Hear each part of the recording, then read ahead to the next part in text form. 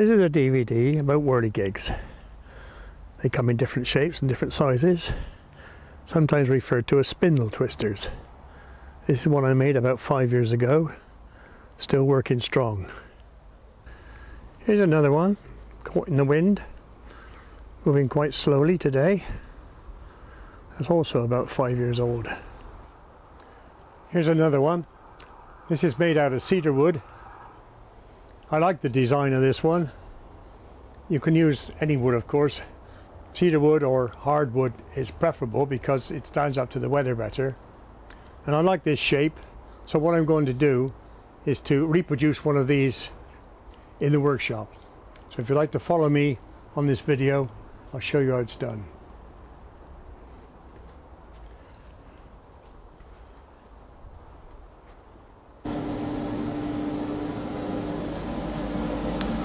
Right, first piece. Here I have some ash I've acquired. I'm going to cut the first piece through at five millimeters.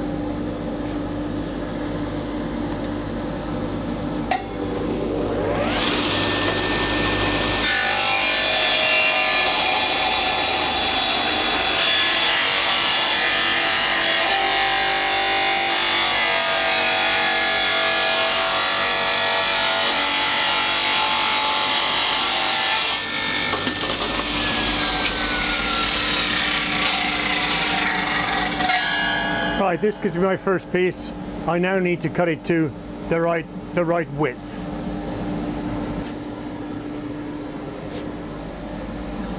Right, this time I set the saw up to two and a half millimeters or half an inch in the old imperial measurement. We'll cut through again.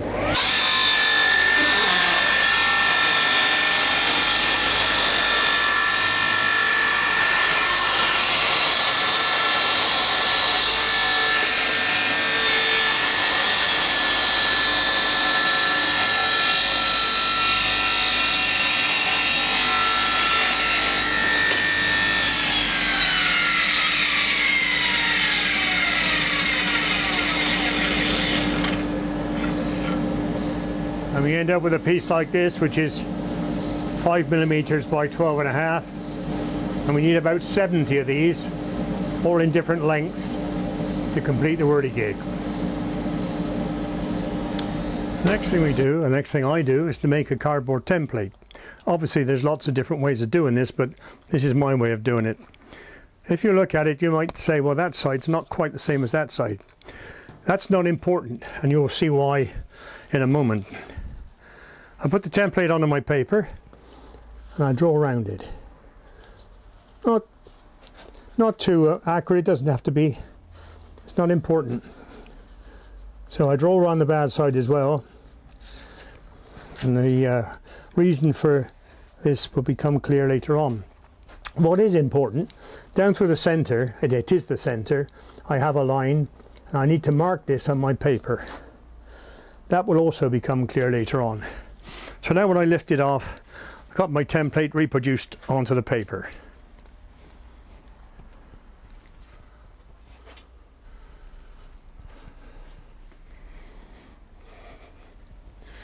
Now from all my pieces of timber, and I've got them in all different lengths, I'm now going to lay them on top of the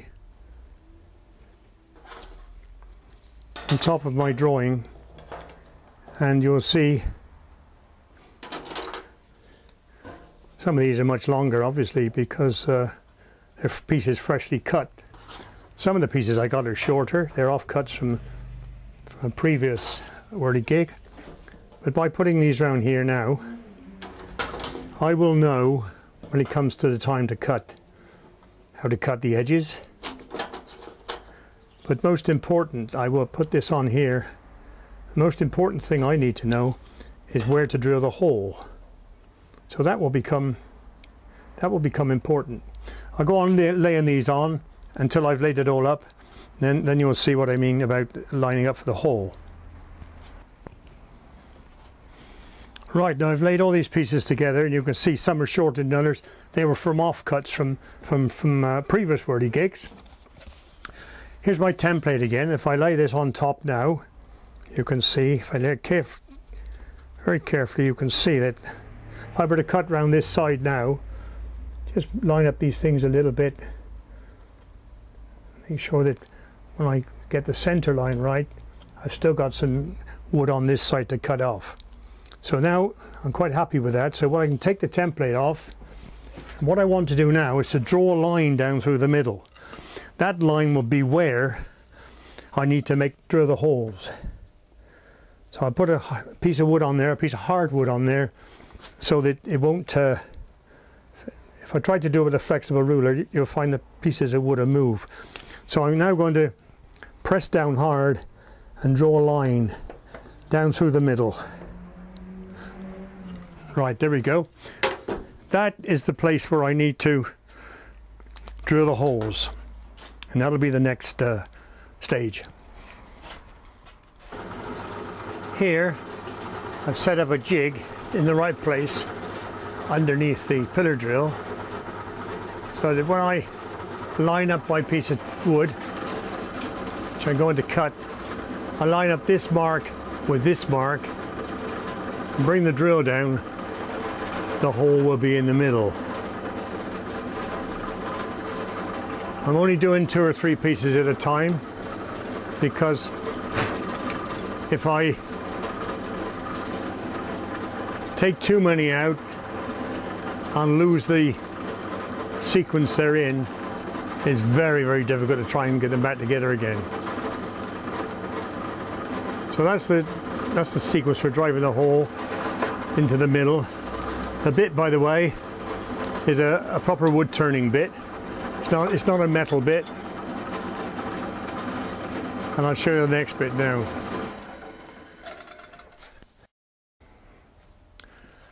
Here now I've taken a piece of wire, here's the rod which I've straightened and now as I drill the holes and put the pieces on, slide them down over in the same sequence as what I had them on on the bench.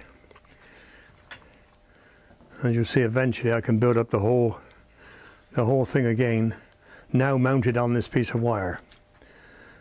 The reason for that will become obvious later on. This is not the gluing up stage, this is just the cutting stage.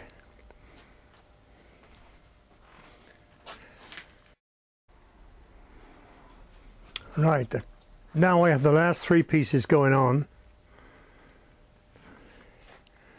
and then I want to transfer it back to the bench.